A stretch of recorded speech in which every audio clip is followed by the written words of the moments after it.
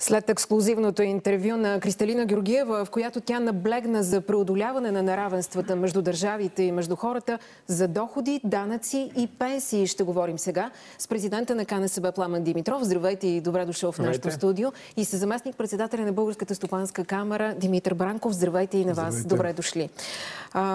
КНСБ предложи днес една, да кажем, неочаквано предложение за Тристранния съвет и за партньорите, защото за първи път, като че ли изподеляте тази идея, за промени в данъчната политика. Какви са те, господин Димитров, и с какво ще променят те в, въобще в данъчната политика в страната? Както чухме от госпожа Георгиева, Основният проблем на обществата, в това число и на България през последните години е с задълбочаващите се неравенства. България е на първо място в Европейския съюз по дълбочина и по размер на неравенствата в доходите имам предвид, но и в богатството като цяло. Така че, говорейки за неравенства в доходите, очевидно е, че първичното разпределение, т.е. това как се разпределя произведения брутен продукт в предприятията, заплатите и печалбата на на предприятията, от една страна и втория механизъм, вторичното разпределение през данъци и осигурителната система, са единствените възможни механизми за подобряване и за, за, така, за намаляване на неравенства в доходите. Какво така че нашите предложения, предлагат? които ние всъщност предлагаме, целят точно това. Това, че коефициента на Джини в България, т.е. коефициента, който мери тези неравенства, мина коефициента 40% е нещо изключително а, непознато за нашите, на, нашите ширини. Предложението е просто – балансиране на, данъците, преразпределение на, на данъчната тежест, която сума сумарно всъщност иземва пари от бюджета и оставя в фирмите и в хората предимно.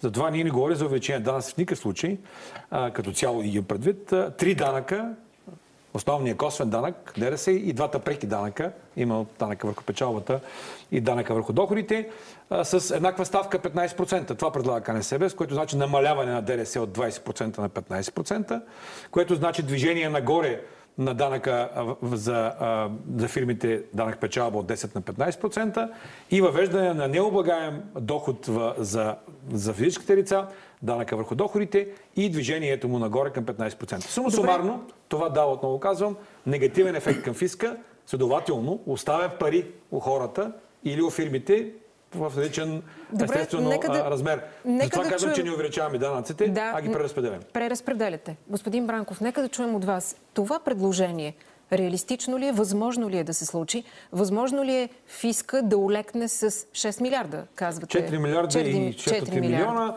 Само, че вижте, ние говорим за компенсирани, компенсирани промени. Да, ще говорим за компенсирането. Ще има, ще има и допълнителни да чуем... приходи и негативният ефект ще бъде около 6-7 милиона. Нека да чуем коментар. Господин Бранков. Днес, не само аз и други колеги от работодателските организации изразиха положителното становище изобщо на работодателските организации към всяка една стъпка за намаляване на данъчни ставки, случай, разбира се, става дума за един по, така, едно по-широко намерение за промени в косвеното облагане, в прякото облагане, които, разбира се, колегите са направили своята оценка на въздействие. А така оценка на въздействие, очевидно, ние ще очакваме и от Министерство на финансите, и от цялата експертна общност. Но като цяло за нас посоката, която колегите така начертават със своите предложения и друг път мисля, че са правени, поне част от предложенията са излизали част от тях, да. в общественото пространство. А, точката, отправната точка е добра за дискусия, за дебат. Разбира се, тук трябва да сложи и, така, и част от нашите официални позиции изобщо по данъчната система. Много важно е да видим контекста, в който сме в момента. Ние сме в ИРМ-2, беше споменато и в предишното интервю. Намерението официално оповестените на Националната банка са минимален престой в ИРМ-2. Две години. Което означава да поддържаме дефицит в рамките да поддържаме на 3%. дефицит и другите три оставащи мастерски критерии. Още има един нали, за стабилитета на валутния курс, който няма смисъл да дискутираме и струва дори в тези кризи. За тази година дефицит е суспендиран за всички държави членки на ЕСА. Така, така да не го, а... да не го правим за 20. За тази година я оставяме на страна. Да. Но възможно ли е 15% данък ДДС върху Сега, всички тук, стоки. все пак господин Диров ще позволи да изразя. изключенията, аз не казвам да няма изключение. Казвам, че общата ставка трябва да бъде намалена с 5% пункта. Тоест, вие искате диференциран данък. Това Ние ли не искаме предлагате? диференциране, искаме намаление на общата данъчна ставка от 20 на 15% при запазване на двете възможности, които Европейската директива позволява за изключения, които имаме в момента. Възможно ли е, господин Бранков? Ние сме изразявали за положително становище към едно премерено, тъй като 5% пру- пункта изглежда доста смела стъпка. Пак казвам, може би тук трябва да се помисли за едно степенчато намаляване, да се види ефекта първата, втората година.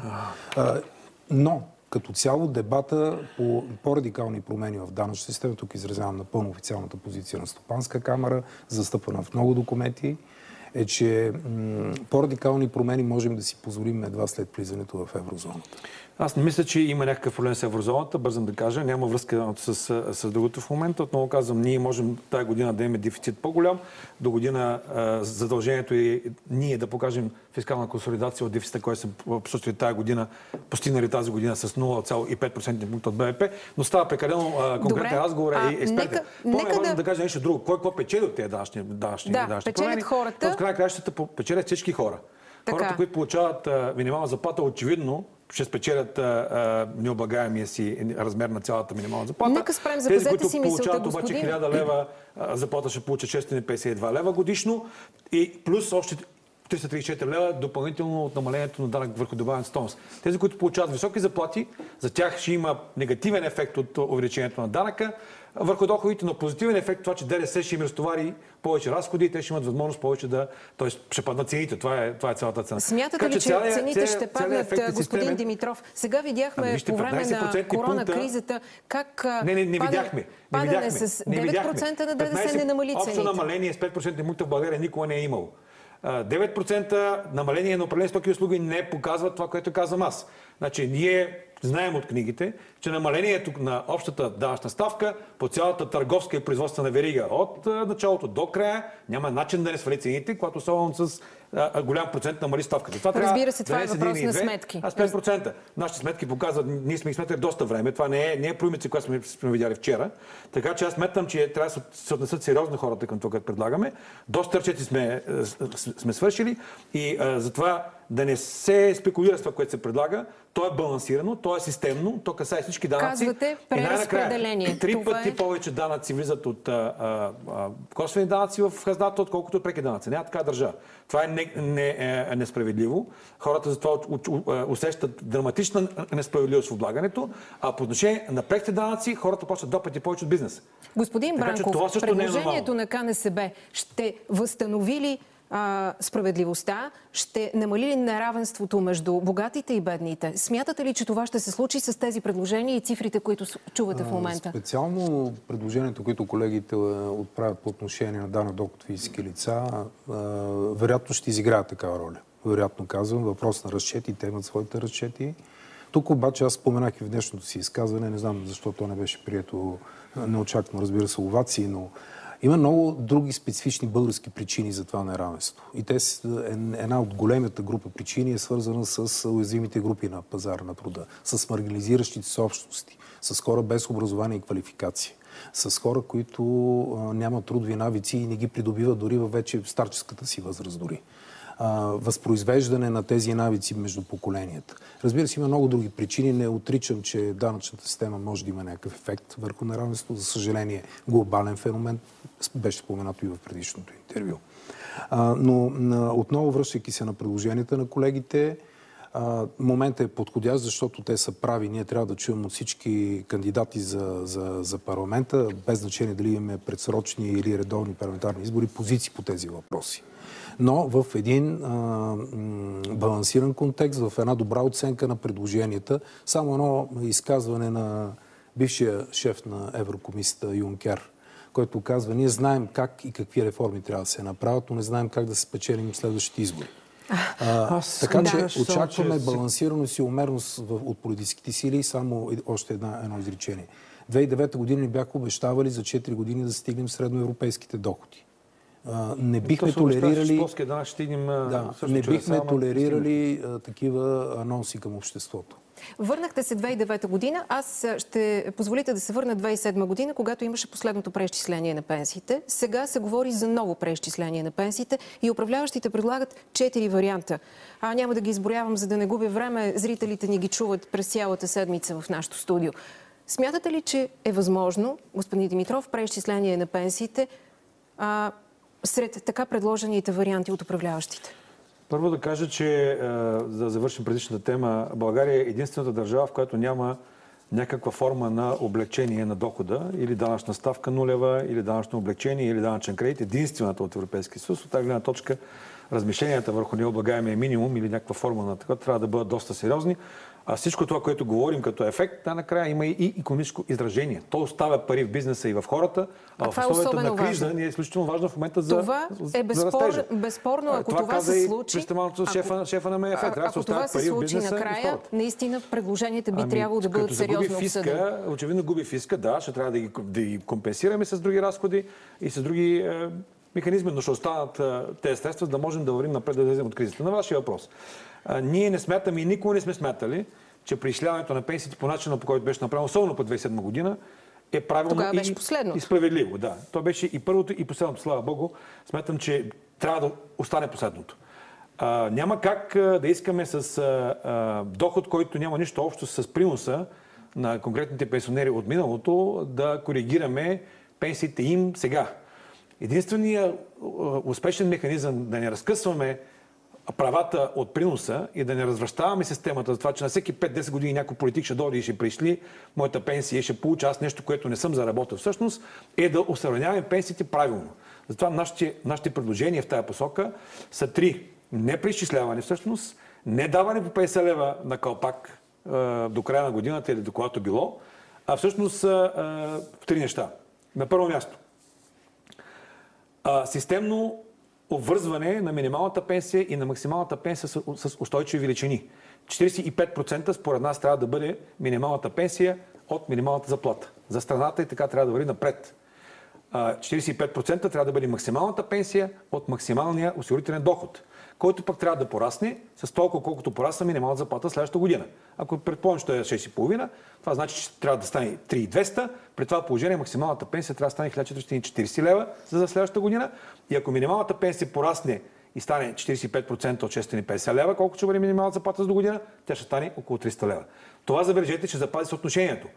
Минимална пенсия сега спрямо максимална пенсия и минимална пенсия спрямо максимална пенсия до година, т.е. няма да смачка както се казва, самата структура на пенсиите. Второ, смятаме, че трябва да се осъвременят всички пенсии с по-голям процент от швейцарското правило, най-вероятно двоен, което ще даде около 9-10% увеличение на, на всички пенсии, което ще, ще постигне доста по-устойчив ефект за всички, тъй като преизчисляването, това не се казва или не се акцентира върху него, първо ще струва повече, второ ще обхване само половината пенсионери, милиони и 200 хиляди души пенсионери. Кажете няма бързо да и третото, защото искам и господин от, Бранков да вземе отношение. преизчисления, които дават като, като варианти. Така? А нашето предложение касае всички пенсионери без Разбирам. изключение и те ще имат всъщност възможност. Третия вариант е през годините стаж. Тоест, ние много пъти сме казвали в, в споразумението, което имаме с бизнеса и с Борисов, между другото, от 2015 година, имаше договореност, че този коефициент за всяка година стаж в, в пенсионната формула ще стигне 1,5 в момента. Той беше замразен тази година на 1,2. При евентуалното увеличение на 1,3 пак ще получим около 10% увеличение Нека на, на всички да чуем пенсии. и от вас. Какво е решението за увеличение на пенсиите и а, реалистично в момента? Като цяло това, последното, което спомена господин Димитров, за нас е най-реалистичен вариант. Корекция на коефициента за На 1,5 ли? И вие предлагате? На 1,3 не. Не, не, може да тъй като са много ресурси. Висока стъпка. Между другото, тези варианти, които госпожа Сачева предлага, мисля, че тя самата ги оцени на стигащи от 1.2 милиарда до 3.8 милиарда. А, ние категорично сме против текущи разходи в системата, дали става дума за бюджетни заплати или за пенсии, да се покриват и да се финансират за сметка на а, нов дълг. Това трябва да става за сметка на а, фактически на текущите бюджетни приходи. А, по тази причина със сигурност има нужда от корекция и това, което говорихме в момента за коефициента, практически вероятно той няма да обхване а, първите, т.е. най-старите пенсии, отпусканите до, за най-възрастните от нашите родители, отпускани преди 90-та година. Там подходът Така трябва да е няма друг. как да не искаме и стъпки. Да, да, ня, да не искаме стъпки с допълване с социалното подпомагане на диференциран принцип, разбира се. Смятате ли, че, подоходен смятате ли, че има нагласа в момента да бъде а, избран един или друг подход за увеличение на пенсиите? Смятате ли, че, например, от 2021 година ще има увеличение на пенсиите в България? Мислите ли, че е назрял момента и това ще се обстановка не е най- най- най-добрите условия и сега кризата, в която се намираме, за предприемане на по-радикални стъпки. Затова всички предложения, които ще чуем от кандидатите за властта, отново споменавам, трябва да бъдат добре оценени, промислени и реалистични. Добре. Ами, добре, благодаря ви за този Само да разговор кажа, в студиото на още да от деня. непременно вързани с реформата, която 20 години Така е. правим, а не да Добре. правим как Благодаря кашка ви, дявол и господин дясно. Димитров. Благодаря, че участвахте. Така се разделяме.